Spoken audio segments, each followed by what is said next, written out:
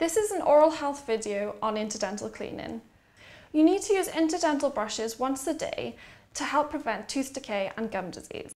The interdental brushes come in different sizes and your dentist or hygienist will be able to advise you on the sizes that you need for the gaps between your teeth. 40% of your tooth surfaces are interdental.